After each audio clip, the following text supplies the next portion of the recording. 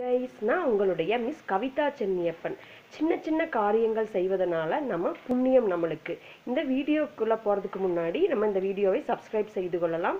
பக்கத்தில் உள்ள பெல் ஐக்கானை கிளிக் பண்ணிக்கொள் பண்ணிக்கொள்ளுங்கள். லைக் பண்ணுங்கள் ஷேர் பண்ணுங்கள். உங்களோட கமெண்ட்ஸை இந்த க வீடியோக்கு கீழே உள்ள கமெண்ட் பாக்ஸில் என்னுடன் ஷேர் செய்யுங்கள். இப்போ வீடியோக்குள்ளே போகலாம் வாங்க. சின்ன சின்ன காரியங்கள் செய்கிறோம். அதாவது இதில் இந்த மாதிரி சின்ன சின்ன காரியங்கள் செய்வது நம்மளுக்கு ரொம்ப புண்ணியம். அதாவது நம்ம இந்த சம்மர் டைமில் இந்த கோடை காலத்தில் வந்து பேர்ட்ஸ் எல்லாம் வந்து பறவைகள் எல்லாம் வந்து தனது உணவுகளை தேடி அலைந்து கொண்டிருக்கும். அந்த அதுக்காக நம்ம உதவி செய்கிற முறையில் நம்ம வந்து இந்த மாதிரி ஒரு ட்ரேயில் நம்ம காம்பவுண்டு ஒரு காம்பவுண்டு மேலேயோ அல்லது நம்மளுடைய வீட்டின் முட்டை மாடியிலோ இந்த மாதிரி நம்ம பறவைகளுக்காக தானியங்கள் அரிசி இந்த மாதிரிலாம் போடலாம்.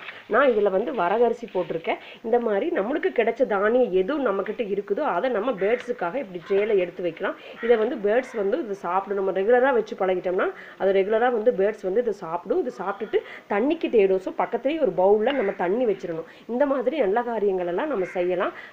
அதே மாதிரி ரோட்டோரம் சுற்றி கிடக்கிற நாய்களுக்கெல்லாம் நம்ம வந்து அது அது பசிக்காக நம்ம நம்மளால் முடிஞ்சதை நம்ம அதுக்காக நம்ம சாப்பாடோ நம்ம கையில் என்ன பிரெட்டு பிஸ்கட் என்ன இருக்குதோ அதை நம்ம கொடுத்து உதவலாம். இந்த மாதிரி நல்ல காரியங்கள் செய்கிறது ரொம்ப நம்மளுக்கு புண்ணியம் ஆகும்.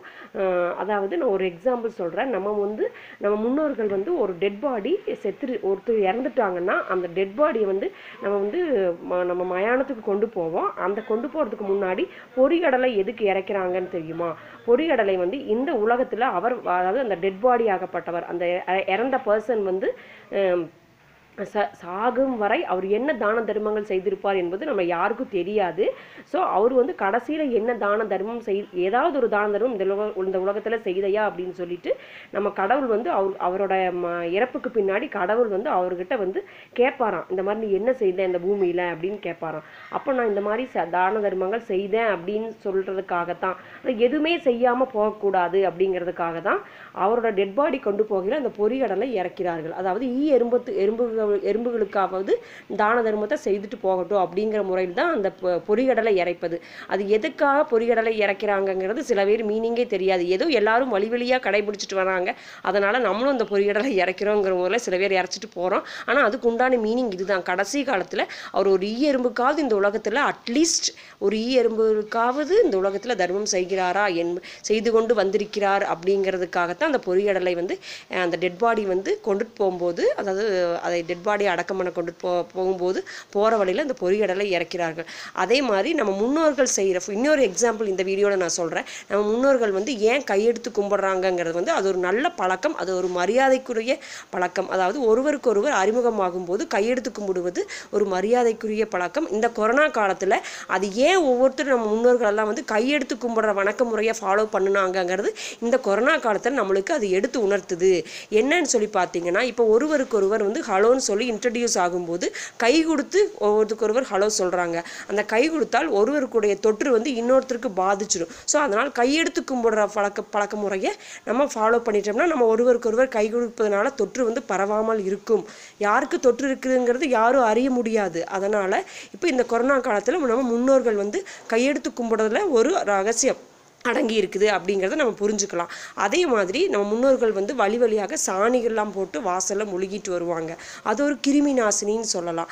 அதை வந்து நம்ம இப்போ யாரும் ஃபாலோ பண்ணுறல யார் வீட்டில் பாரு மார்பிள்ஸு மொசேக்கு டைல்ஸு அந்த மாதிரி நம்ம லேட்டஸ்ட்டாக வந்துட்டோம் நம்ம இப்போ. ஆனால் சாணி போட்டு வாசலில் மொழுகி விடுகிறத வாசலை பார்த்தா நம்மளுக்கு இப்போ அது ஒரு அது அது அதிசயமாகவும் தெரிகிறது. ரெண்டாவது அந்த மாதிரி உள்ள இந்த கிராமத்து ஸ்டைலில் சாணி போட்டு மொழுகிறதெல்லாம் நான் நான் ரொம்ப விரும்புவேன்.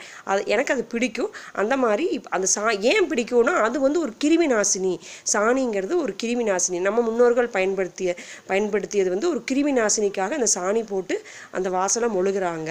ஸோ அந்த மாதிரி அந்த நம்ம முன்னோர்கள் செய்த ஒவ்வொரு பழக்கங்களிலும் ஒவ்வொரு அர்த்தங்கள் இருக்குது அப்படிங்கிறத நான் ஃபார் ஃபார் எக்ஸாம்பிளுக்காக நான் உங்ககிட்ட இதெல்லாம் நான் ஷேர் பண்ணினேன்.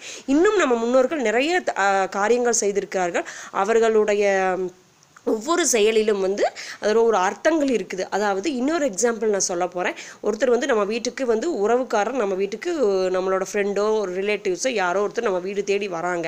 நம்ம ஏன் வந்தோம்னா அவருக்கு நம்ம காஃபி கொடுக்குறோன்னு சொல்கிறோமா ஏன் கொடுக்குறோம்னா அது வந்தால் காஃபி கொடுக்கணும் வாங்க அப்படின்னு சொல்லிட்டு நம்ம இன்வைட் பண்ணி காஃபி கொடுக்கறது நாகரிகம் கிடையாது. அதில் அது வந்து நம்ம முன்னோர்கள் ஏற்படுத்தியதான் அதுவும் கூட நம்ம முன்னோர்கள் ஏற் கடைபிடித்தது தான் அது ஏன்னா அவர் அங்கிருந்து நம்ம வீட்டு வரைக்கும் நடந்து வந்து டயர்டாக வந்திருப்பார். வந்து சேர ட்ராவல் ட்ராவல் இருக்கும் இல்லையா? நடை நடைப்பயணமோ அல்லது பஸ் ட்ராவலோ எதோ ஒன்று டைம் அவர் ஸ்பெண்ட் பண்ணி நம்ம வீட்டுக்கு வந்து ரீச் ஆகிற வரைக்கும் அவர் அவருக்கு உண்டான பாடி எனர்ஜி கம்மியாக இருக்கும் ஸோ நம்ம வீட்டுக்கு வந்த உடனே அவருக்கு ஒரு எனர்ஜெட்டிக்காக ஒரு டம்ளரில் ஒரு ப அதாவது தேநீர்னு சொல்லுவாங்க அந்த காலத்தில். நம்ம காஃபி டீ அந்த மாதிரி கொடுக்குறோம். அதுதான் நம்ம முன்னோர்கள் செய்தது. அதுக்காகத்தான் அவருக்கு ஒரு எனர்ஜி ஊட்டக்கூடிய வகைகள் தான் அது கொடுக்கப்படுகிறது. நம்ம வந்து வீட்டுக்கு வந்தோன்னா காஃபி கொடுக்குறாங்க அப்படிங்கிறது மட்டும்தான் தெரியும். அது ஏன் கொடுத்தா நம்ம முன்னோர்கள் வந்து அது எதுக்காக கொடுத்தாங்க. அவங்கள அவங்கள வந்து எனர்ஜி ஆக்குறது. அந்த காலத்தில் வந்து நடந்தே தான் வருவாங்க. இப்போ தான் பஸ்ஸு காரு அது இதுன்னு இருக்குது அந்த காலத்தில் ஒரு ஒரு வீட்டுக்கு ஒருவர் வரும்போது மாட்டு வண்டி நடைப்பயணம் இந்த மாதிரி தான் ஃபாலோ பண்ணிட்டு வந்திருக்காங்க அப்போ அவங்க வந்து சேரும்போது நம்ம நம்ம வீட்டுக்கு அவங்க உறவினரோ அல்லது நம்மளோட நண்பர்களோ வந்து சேரும்போது டயர்ட் ஆகுவாங்க இல்லையா?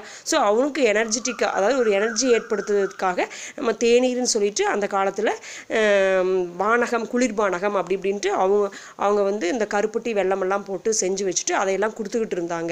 அதைத்தான் நம்ம இப்போ வந்த உடனே நம்ம ரிலேஷனுக்கு நம்ம காஃபி டீ நம்மளுக்கு இப்போ நம்ம அதை ஃபாலோ பண்ணிட்டுருக்குறோம். நம்மளுக்கு உண்டான ஜூஸஸ் எல்லாம் கொடுத்துட்ருக்குறோம் அப்போ இந்த இதுவும் முன்னோர்கள் கடைபிடித்தான் நம்ம அவங்க வரக்கூடியவங்களுக்கு எனர்ஜிக்காக அதை கொடுக்கறது அப்படிங்கிறது ஒரு காரணம் அதில் அடங்கியிருக்குது. அந்த மாதிரி நம்ம முன்னோர்கள் செய்த ஒவ்வொரு காரியத்திலும் ஒவ்வொரு அர்த்தங்கள் உள்ளது என்பதை இந்த கொரோனா வந்ததுக்கு அப்புறம் தான் நிறைய மீனிங்ஸ் புரிய வருதுங்கிறதை மக்கள் வந்து விழிப்புணர்வோடு நம்ம முன்னோர்கள் இதெல்லாம் செஞ்சுருக்காங்க. நம்மளும் அதை ஒவ்வொரு நம்ம முன்னோர்கள் கடைபிடித்த ஒவ்வொரு விஷயங்களையும் நம்ம கடைபிடித்து வரணும். இப்போலாம் நம்ம எவ எவர் சில்வர் அதாவது ஸ்டெயின்லெஸ் ஸ்டீல் பாத்திரங்கள்லாம் நம்ம நம்ம யூஸ் பண்ணிக்கிட்டு இருக்கிறோம். பீங்கான் ஃபைபர் இந்த மாதிரிலாம் யூஸ் பண்ணிக்கிட்டு இருக்கிறோம். அந்த மாதிரி முன் முன்னாடியெல்லாம் அந்த மாதிரி கிடையாது. மண்பானை சமையல் தான். மண்பானை சமையல்கள் வந்து இப்போ பழையபடிக்கு நம்ம மண்பானைக்கு திரும்பிட்டு வந்துட்டு இருக்கிறோம் இப்போ வந்து இப்போ ட்ரெண்டில் மண்பானையும் கொண்டு வந்துட்டாங்க. ஏன்னா அது நம்ம முன்னோர்கள் வந்து மண்பான் மண்பானையில் சமைத்து சாப்பிடுவது வந்து ரொம்ப நல்லது அதாவது ஆரோக்கியமானது அப்படிங்கிற மாதிரி அவங்க பழக்கத்தில் உள்ளது. இப்போ மறுபடியும் நம்ம இந்த இப்போ ட்ரெண்டுக்கு அதை நம்ம கொண்டு வந்திருக்கோம். ஸோ நம்ம முன்னோர்கள் செய்த ஒவ்வொரு காரியங்களிலும் ஒவ்வொரு அர்த்தங்கள் இருக்குதுங்கிறத நம்ம வந்து மறக்காமல் நம்ம இன்னும் அதை மறக்காமல் வச்சு நம்ம அதை ஃபாலோ பண்ணணும்னு சொல்லி நான் கேட்டுக்கொள்கிறேன். இந்த வீடியோ உங்களுக்கு பிடிச்சிருந்தால் மறக்காமல் சப்ஸ்கிரைப் பண்ணுங்கள். தேங்க்யூ ஃபார் வாட்சிங்